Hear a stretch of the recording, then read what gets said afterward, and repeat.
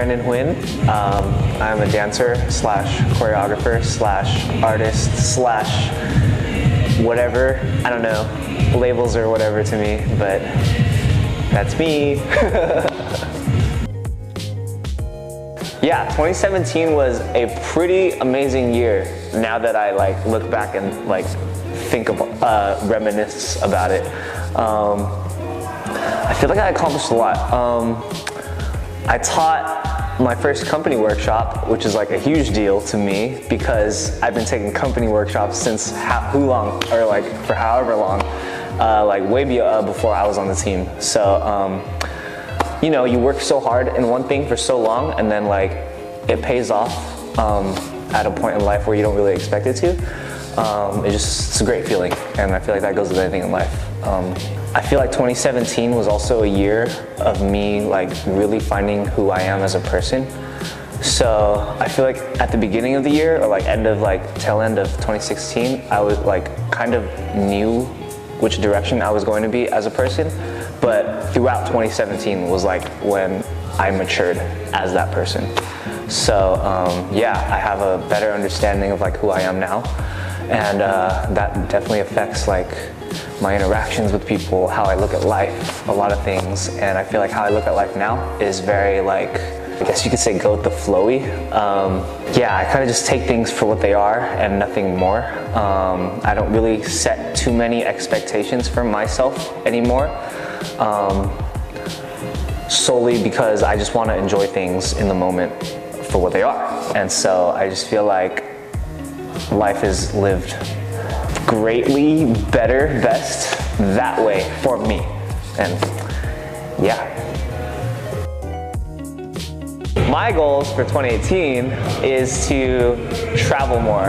Um, I feel like I used to travel a lot with my friends when we were like in our more adolescent teen, not adolescent, like 18 to 20, young 20 years. And um, I feel like adulting has just got caught up to us a little quicker now. So um, we def I definitely miss traveling a lot with my friends and stuff. So yeah, I just want to see the see the world as much as I can while I'm still young, while I'm able to, um, and hopefully maybe even like teach somewhere somewhere else other than uh, here in San Jose. I feel like I've only taught a few times. I taught a few times out of San Jose, but not many. So I'm definitely like, that'd be like awesome, an awesome experience just to like uh, travel somewhere and like also like do what I love to do, right? I feel like that's a lot of, uh, it's like best of both worlds kind of thing.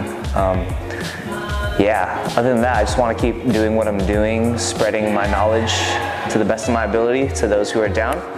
Uh, I feel like I have a lot to offer and so uh, just thankful for anyone who's like stuck with this guy so far. Super appreciate it. Yeah, I think, I don't know what it is, but like workshops for, tend to pull bigger numbers for some reason. I don't know why. uh, I'm sure there's a reason, I don't know why, but um, maybe it's, yeah, I don't know. But uh, not that numbers are like important, but um, it's always great. It like fills my heart to see that uh, when I do get like a full room or a packed room, uh, and I'm sure anyone can like relate with this. Like just anyone who's down to like try your stuff out and just like you know like experience your your art and stuff. Um, it really means a lot. Uh, it goes like such a long way to the artist or whoever's uh, in front. There's nothing more I can ask for than someone coming to like take my class and walking away with something. Like my main goal when I uh, teach a class is to have something to like instill within my students, whether it be dance related or like something they can take with them and apply to whatever they want to do in life. Uh, that's all I could really ask for. But um, like cherry on top is just when like people like like stay with me. I'm like, oh, you like me that much, you know? so yeah, I really appreciate it.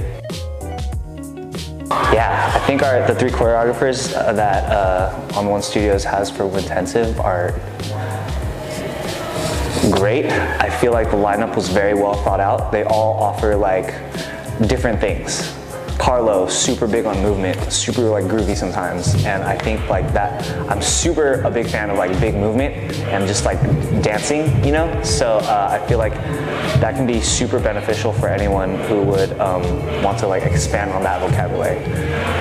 Jillian Meyers, that woman can just walk into a room and just the room is an empty room and then the room is like filled up with like her presence right she's so like i don't know. She every movement that she does like has meaning and um, she just carries this like this presence with her you know? And i feel like that's something that is very like hard even for myself to this day to like accomplish as a dancer.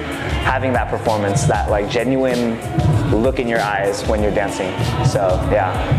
And then lastly amanda grind i feel like everyone says this about her a lot but like no one else can be like more in the pocket than amanda grind so um, her musicality her movement timing especially like she's a big um, she's very words.